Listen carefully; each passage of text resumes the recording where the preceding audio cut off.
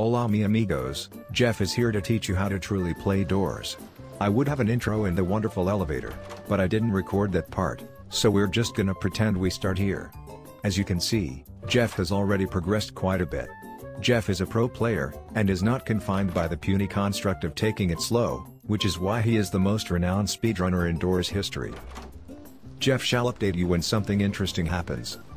Gasp, a candle. Jeff is certain this'll be a great help during the greenhouse. Jeff needs to open this drawer to get the key and battery, but unfortunately he is going to have to face his toughest enemy yet. A skill issue. Luckily, Jeff overcomes this hurdle and proceeds on without a hitch. Now it is time for Jeff's second favorite oh good god. As I was saying, now it is time for Jeff's second favorite activity next to capitalism. Thievery.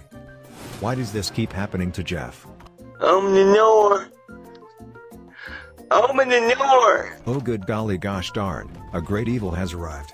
Jeff is unfazed by this, and shall continue stealing. I fear if we stay in the dark for any longer, Jeff's distant cousin shall arrive. Why must you ruin everything good in life Screech? Jeff sure does love twisting and spiraling catacombs. Jeff says don't do drugs kids. Unless of course, you're being chased by eldritch demons from the netherworld. Door stuck! Door stuck! Please! Chest please, Jeff understands the sentiment, but Jeff would really not like to overdose right now. Salami Man. Jeff must silence himself now. He listens for the tinglies as if it were the sound of millions of shiny doubloons. Jeff has a near-death experience. Jeff is now fatally aware of his own mortality. Jeffrey hates the salami man. Brother Jeffrey, where is the crucifix? You have failed me. In case you're wondering, no the Jeff backpack does not give you any special dialogue. Ratio. Where on earth is this lever? Hooray, we have made it to the infirmary. Time to get absolutely zoinked, yummy gold. It is ambush time my friends. Okay, that's good. That's good. It's it's enough slices. Thankfully Jeff is nearing the end of the run, with only 12 doors left to go, though for now, he shall steal as much as humanly possible.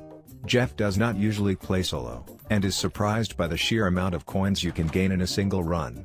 This shall surely pay off the 100 knobs Jeff used to buy a flashlight at the start of the game. This one's no bueno. This one, I'm confident. Ah! Just kidding, Jeffrey shall never befall to such fiendish tomfoolery. What beautiful scenery, such an ironic contrast to what's about to come next.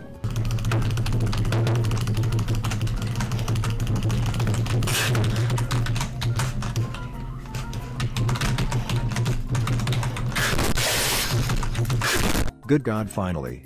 Jeff is now prepared to face the wrath of door 100. Before he encounters Salami Man for the second time, he shall open this door with a lockpick. How did you even get here? Time for Jeff to pussy out until Guiding Light decides to help. Jeff shall make his way to the elevator to check if any fuses await him upstairs. Plus don't hurt Jeff Mr. Salami Man. Wonderful, now Jeff can wait here for all eternity. There we go, Jeff is now ready to start collecting the fuses. He shall descend the steps and get started post haste.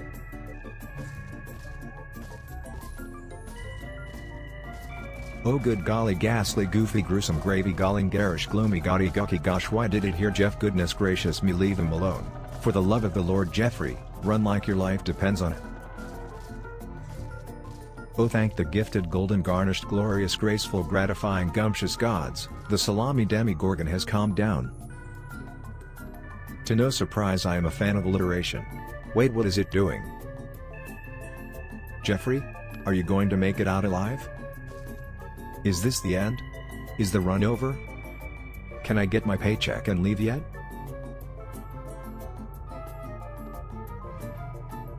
Here we see the wild figure, being a total fucking moron. Being blind has unfortunately impacted this poor creature. Will it move? No one knows. POV, 2 seconds without the Zaza. Oh goodness me it's moving. Finally, thank the heavens above. Jeffrey can complete this run at long last. Hooray!